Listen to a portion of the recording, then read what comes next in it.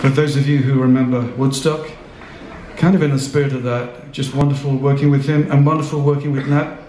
Um, this is called Icarus Ascending.